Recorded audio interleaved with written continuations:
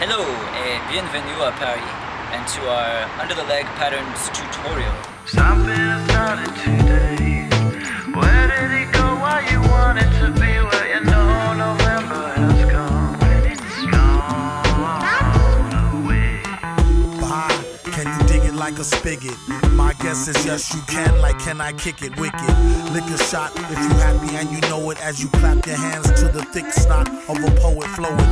Rope pen and I'm in. Cope Hyman. So I'm not here today to reinvent the wheel. Monsieur Woolsey already has a great tutorial online which eloquently teaches the basic principles of under the leg.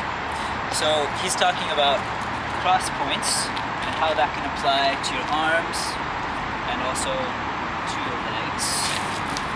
And also he's talking about switching lanes. So I'm starting on one lane, I'm going to go to the other lane. Well, that's just happening under the leg. So that's all in his tutorial. Another way to think about that is you want to provide an exit for the poi. So after you go under your legs, the poi needs an exit, lest you get bludgeoned undesirable area. Uh, right, so half turn, that's one way to make an exit.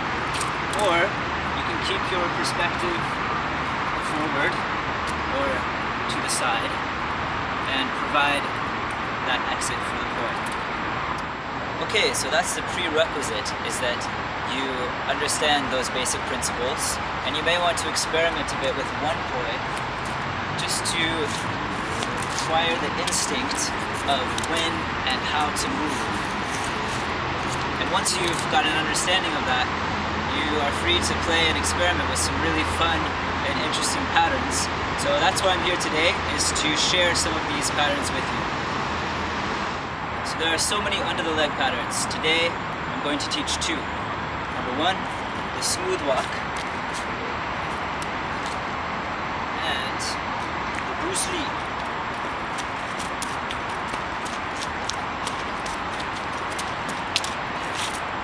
Okay, let's get started with the smooth walk.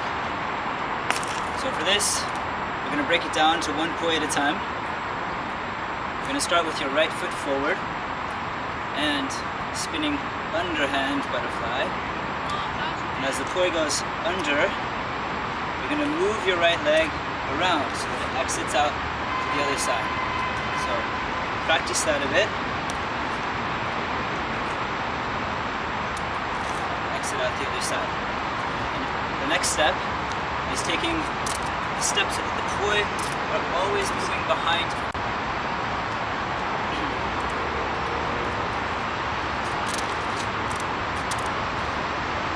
Okay, and once you've got that with the right, you're going to do the same thing with your left. After we're going to put them together. So same thing, as the poi comes up, poi comes up, going to move your left leg to the back and provide an exit. So just practice that in place with both right and left poi until you've got it. And when you're ready, just step with it. And then you put them together. Alright, so now putting the two together from the underhand butterfly, we're going to start in this position with our right leg in front, left poi in back, right poi in front, and starting on the right, we have one round like that. And eventually we're to keep walking back in that straight line. You can just try one round at first, right, left, back to that starting position. So notice how the poi are on the same timing, so they're passing under my legs at the same time.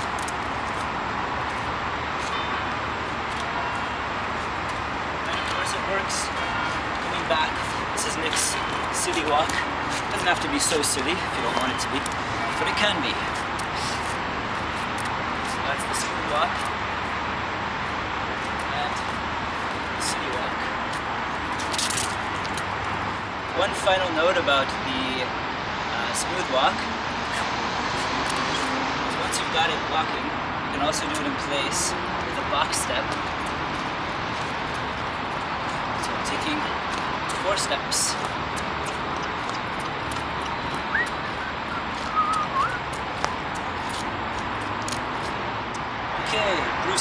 So, this is same direction, backwards, split timing, and the full pattern is a symmetrical one, which goes to the right and to the left. So let's break that down. So you should be able to, uh, with the poi in your right hand, make a half turn to the right by stepping along that straight line. And you should be able to, next step, follow that right poi with the left. So in this example, I'm squaring my shoulders off and taking a step along the line.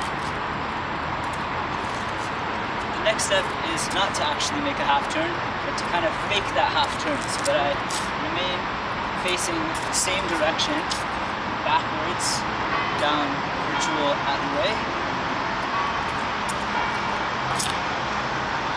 And that's half of it there. So what else is happening? I'm taking four small steps with my feet. Right, left, right, left. So right poi leads, left poi follows, and the feet, right, left, right, left. Right, left, right, left. Right, left. So I'm just providing a very small space there for the poi to exit. And I'm stepping back in preparation to do the same thing on the left side. So once you've got that on the right side, right, left, right, could just do this forever. It's kind of its own fucking Bronco thing when you do it that way. Okay, so once you've got the right side, and the next step is to get the same thing happening on the left side. So the same thing, but opposite. So left poi leads, right poi follows. And the steps are left, right, left, right. Left, right, left, right. Alright, then you're ready to put them together. So you have on the right, on the left.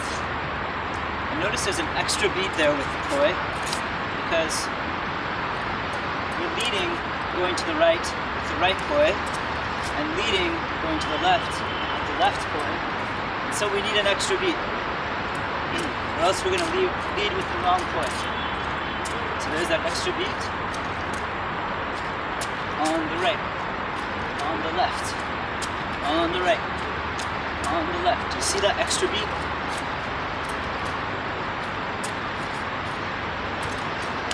Et voilà, Bruce Lee.